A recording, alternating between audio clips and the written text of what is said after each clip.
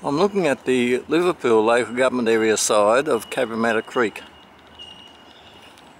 I'm writing to Liverpool Council to see if they can do something about that mess.